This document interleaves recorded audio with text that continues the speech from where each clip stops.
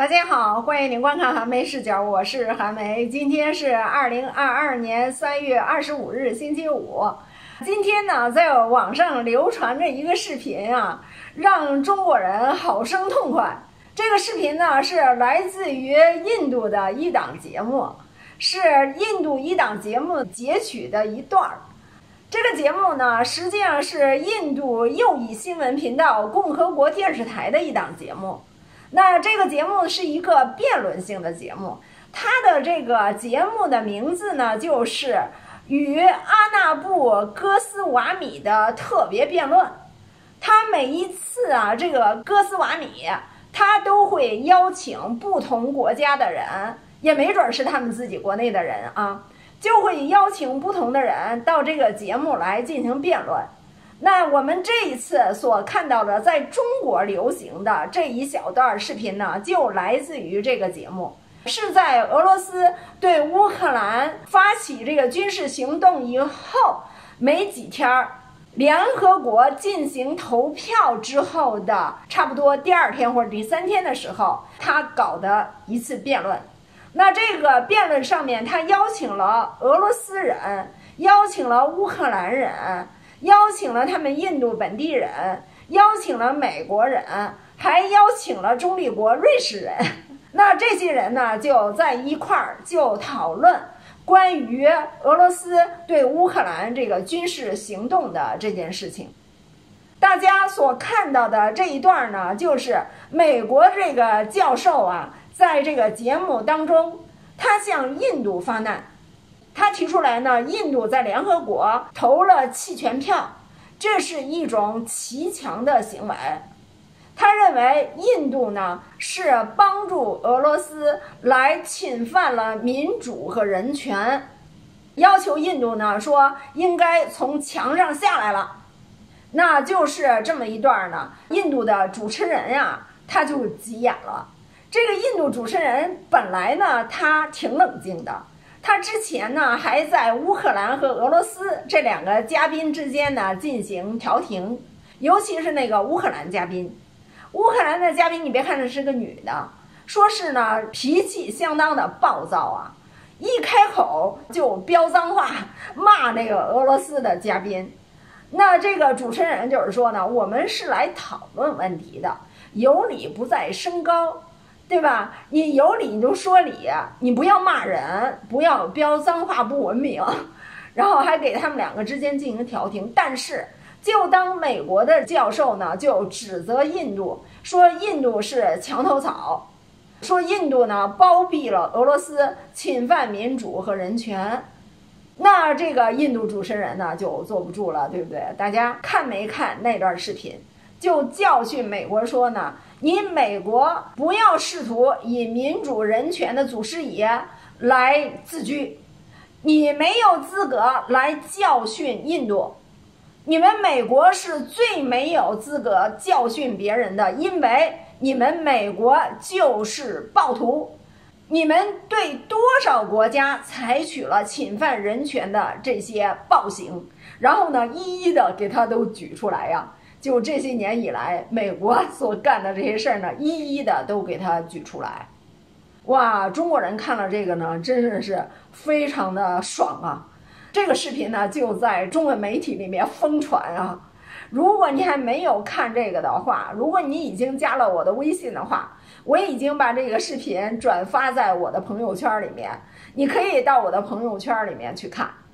因为是在朋友圈里面，我只能在朋友圈里面转发，我不知道它的那个链接没有办法放在我这个视频的下面，你自己到我的朋友圈里面去找，或者你在网上找也行。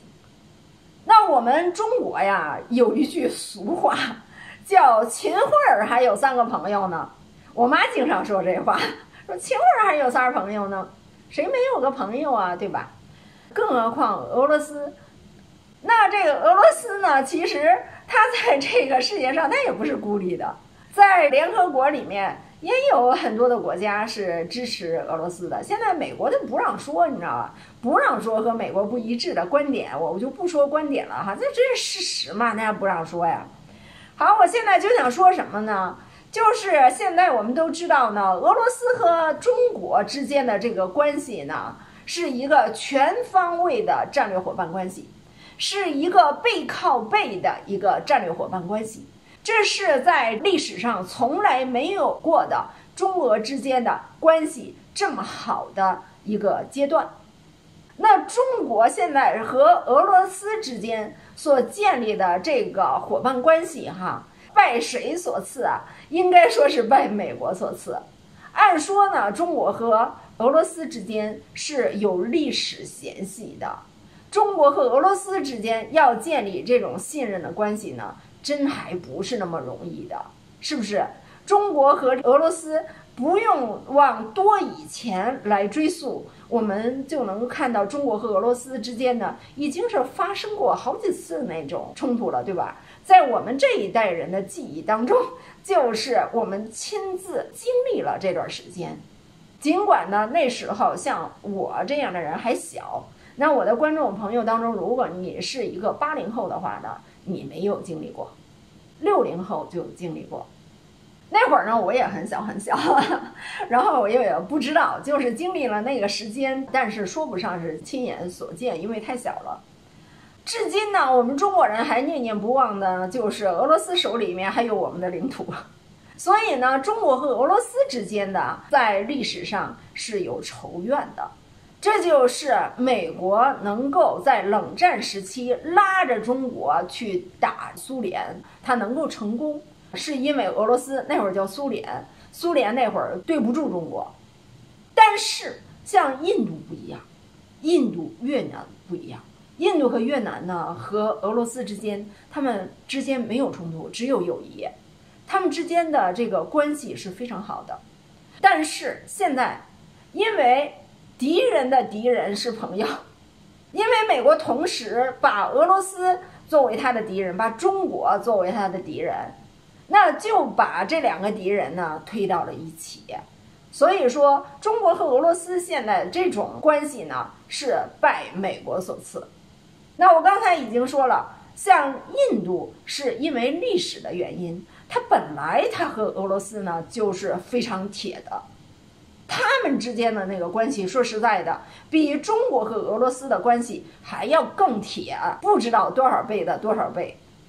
所以在这一次的事件当中呢，这个印度一定是战俄罗斯的。美国说印度是骑墙派，那可不对，人家印度是旗帜鲜明的战俄罗斯的。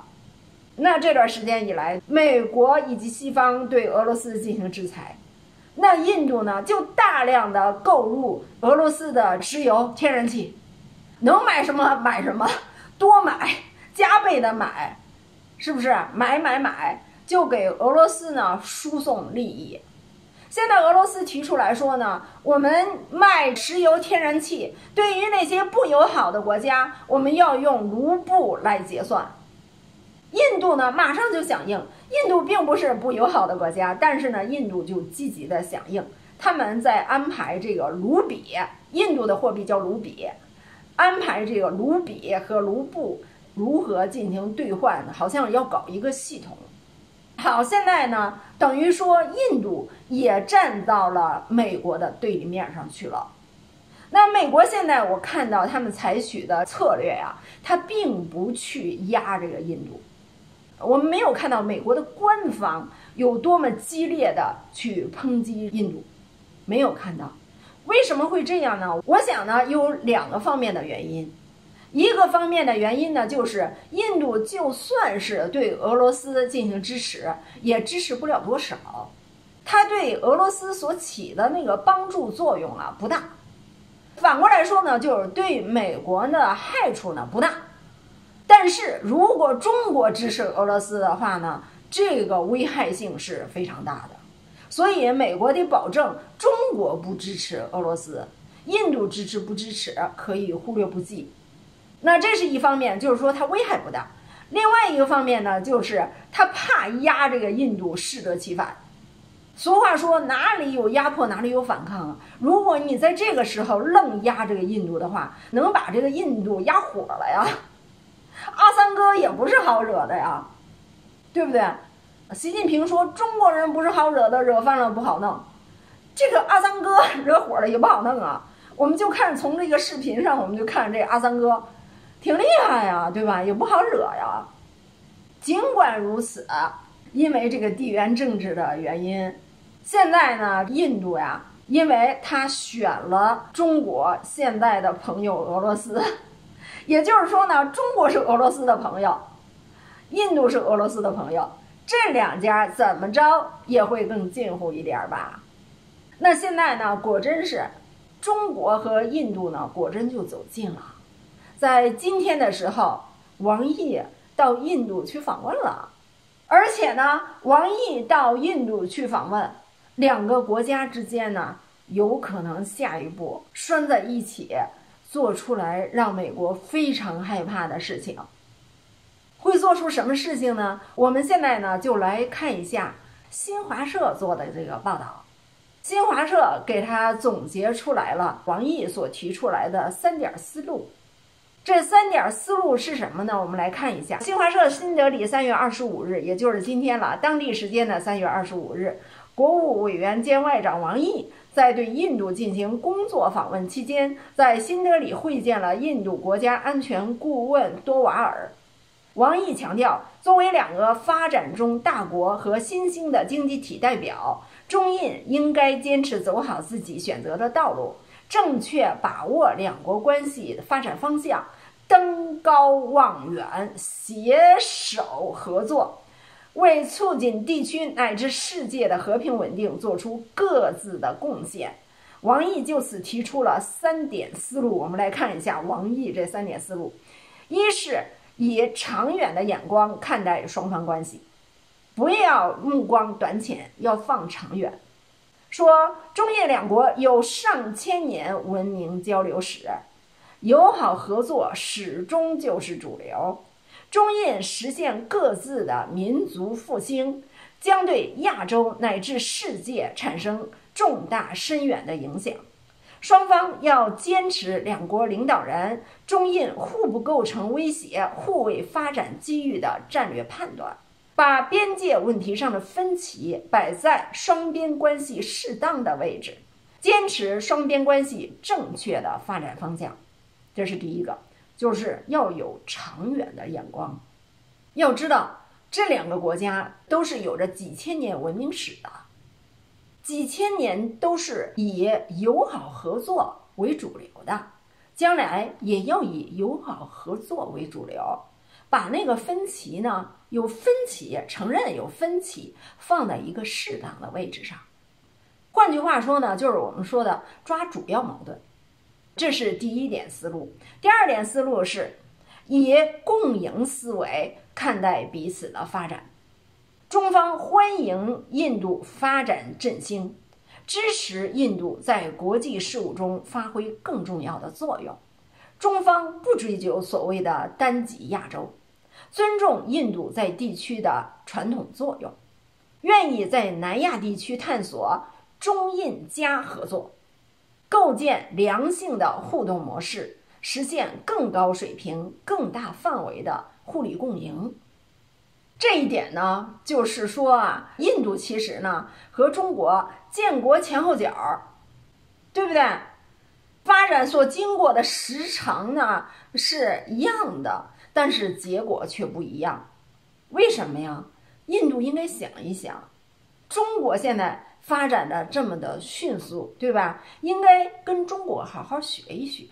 印度三哥呢，就是他们这个自尊心呢比较强，老是拉不下这面儿，而且呢，他心里面自尊心强，拉不下面儿，羡慕嫉妒恨，他也会觉得别人是羡慕嫉妒恨。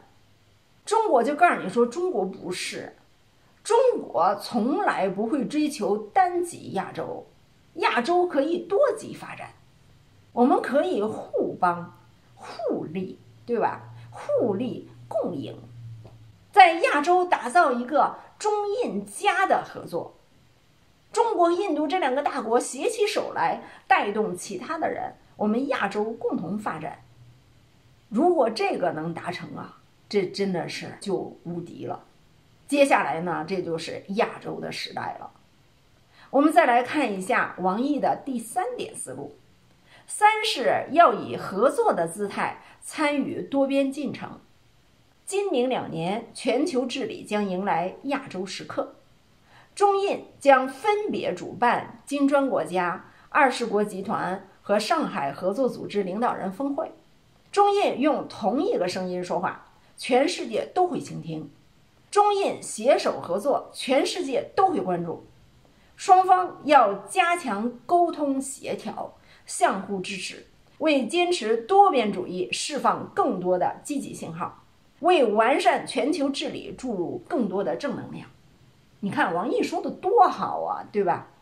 中国人呢不是那种好出风头的人，中国这个国家就是由这些不好出风头的人组成的。你阿三哥，如果你喜欢出风头，对吧？你喜欢在这个世界上你发光，那中国可以给你这个机会，让你发光。我们就携起手来。同一个声音来说话，全世界都会关注这一个声音。希望王毅这次到印度的这个印度之行，能够是一个破冰之旅，能够赢得一些印度的信任。借着这个俄罗斯的这一个关系，这么一个三角关系，对吧？建立起中国和印度之间的这种信任。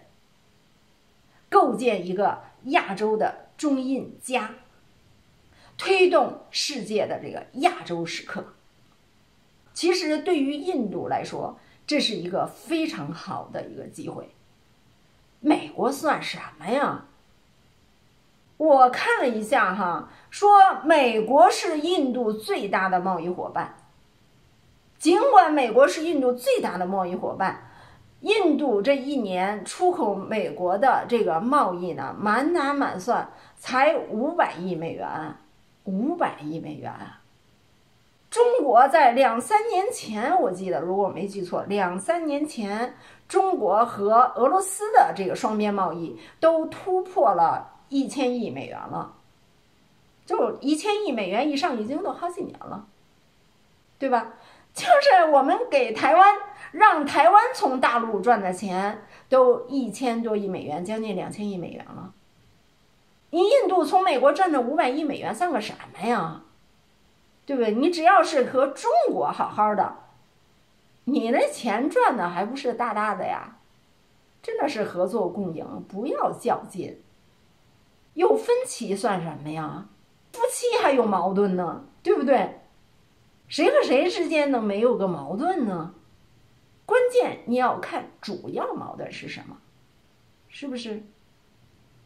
好，我这个视频就跟您说到这里，感谢您的收看，下次再见。